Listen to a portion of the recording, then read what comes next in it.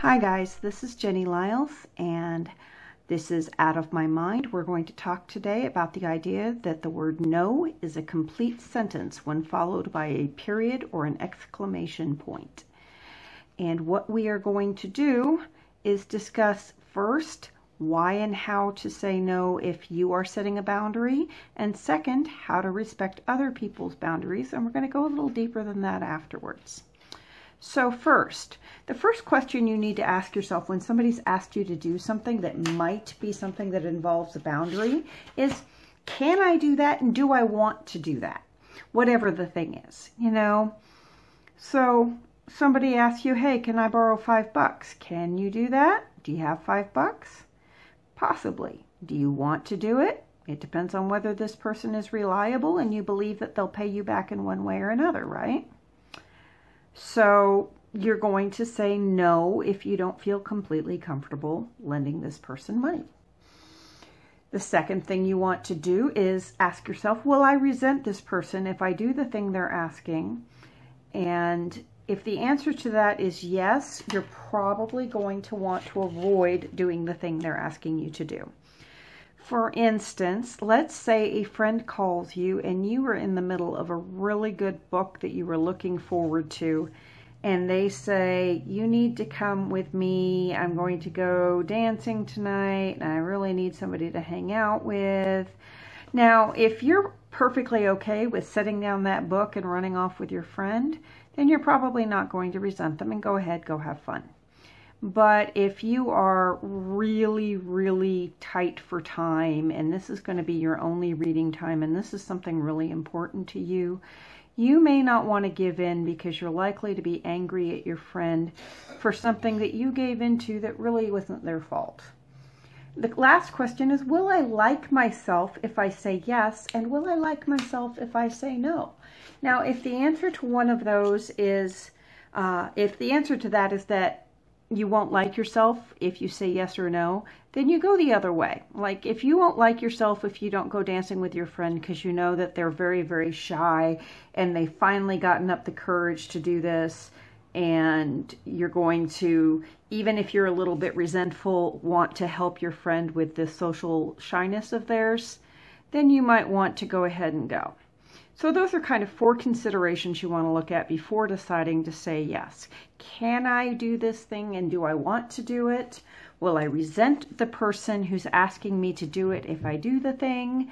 Uh, will I will I like myself? Oh, and finally, will it work toward the goal of mine? I almost forgot to tell you that. Sorry about that. Let's say that um, one of my goals is being kinder to friends because sometimes I'm a little selfish. So if my friend asked me to go dancing and I don't really have anything in the way of going dancing, but I don't particularly want to go, I'm probably going to want to go simply because it's something that um, I'm working towards a goal. Now, again, if it's not towards one of your goals, say no. It's okay. Now, we're going to talk a little bit about respecting other people's goals. The first thing is that you need to respect another person's no, even if it inconveniences you, hurts your feelings, or makes you change your plans.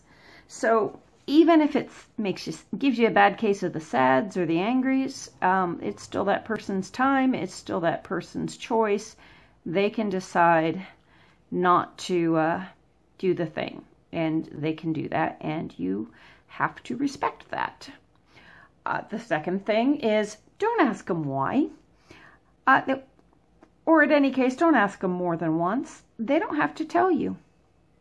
It's there's no obligation to tell to tell you why they said no, just like there's no obligation for you to tell other people why they say no. And the reason for that is because no is, like I said, a complete sentence, and we want people to feel free to say no and not have to justify it every single time they say no.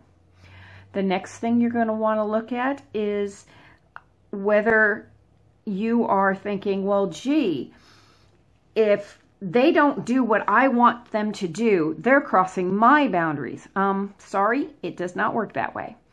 Your boundary is where you say no. Their boundary is where they say no. You wanting them to do something is not a boundary. It is a desire, a want, a need. Therefore, it is not a boundary crossing for somebody to say, no, I'm not going to go out with you. I had a wonderful first date, but I've realized that I'm really not in the dating game or whatever. So it is, they don't owe you an, uh, any kind of explanation and you shouldn't be hounding them for one. Finally, your feelings, your wants and needs do not create a, an obligation. And this kind of goes back to that first part is that, you know, a no is a complete sentence. An obligation to somebody is a legal issue, like if you have a contract with them, or it is if you have a child and they are dependent on you, or an elder who is dependent on you, then you may have a legal issue where you're obligated to somebody. Otherwise, you're not obligated. And I want you to hear that again. You are not obligated. Just because you went on one date doesn't mean you need to go on another. Just because somebody bought you a drink doesn't mean you need to buy accept a second one. Just because uh, somebody offered you a job doesn't mean you have to take it. All those things are things that you can choose to do or not to do. The next thing I want to talk about is what do we do and how do we tell when people are crossing our boundaries deliberately? And sometimes we know what that looks like and sometimes we don't. So let me talk a little bit about what it looks like. Somebody who um, is deliberately crossing your boundary is going to keep trying to get you to say yes after you say no. So after you've said no, it'll start with a little bit of whining and coddling. Oh, come on. Might even go to threatening. If you don't do this thing, I'm going to be mad at you. I'm going to treat you badly. I'm going to treat, give you the silent treatment. I'm going to walk away. I'm going to end the relationship. There's going to be a bunch of threatening going on if they're trying to get you to change your no to a yes. Um, they're also going to demand explanations, and I'm not talking about just, hey, can you let me know why this isn't working just once? This is somebody says, why, why, why, why, why, why, why, just like a two-year-old. You know, two-year-olds are pretty much sociopaths at heart, so you know it's pretty it's pretty unsurprising that some of their behaviors are very close to abusive behaviors one of our big jobs as adults is to socialize our children out of those tendencies.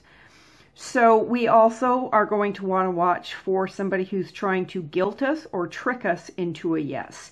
If you don't do the thing, I'm going to be miserable. If you don't do the thing, I'm going to be sad. If you don't do the thing, this bad thing's going to happen to you that isn't really going to happen to you.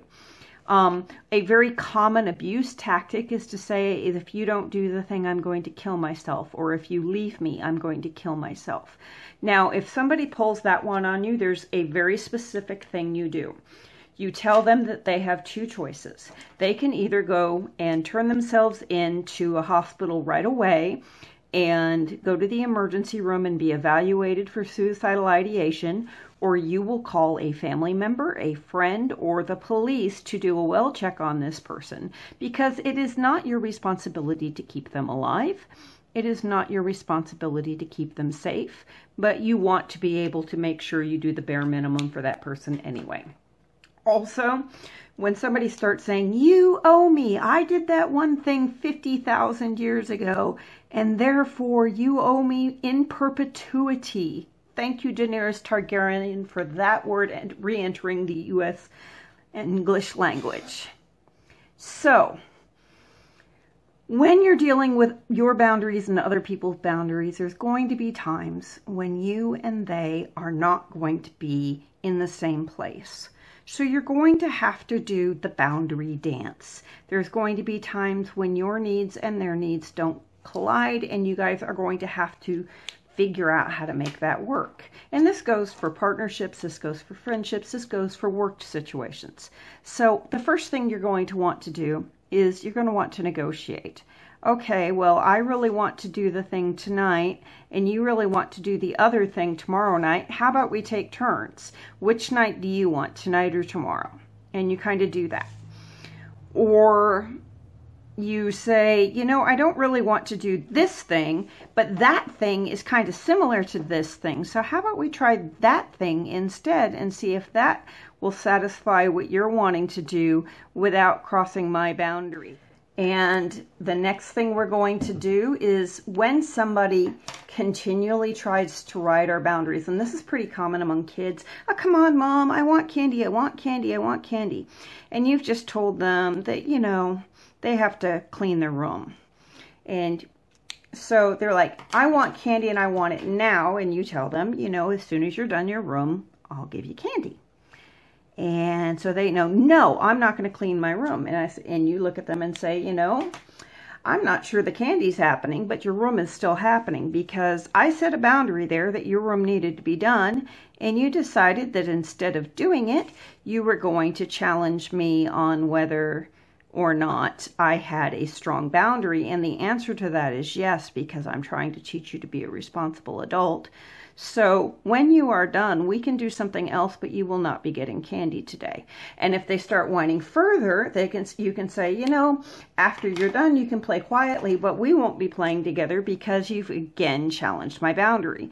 In other words, when somebody tries to challenge your boundary, you set it harder and harder instead of softer and softer. And the reason you do that is because the whole point of challenging your boundary is to change your no to a yes. And if they find that they're getting less and less of what they want every time they ask, then they are less likely to keep asking. Finally, if you figure out that you have crossed somebody else's boundary, you're going to want to go back to something we talked about about a week ago called owning, apologizing, and repairing. I really did something I shouldn't have done that kind of crossed your boundary.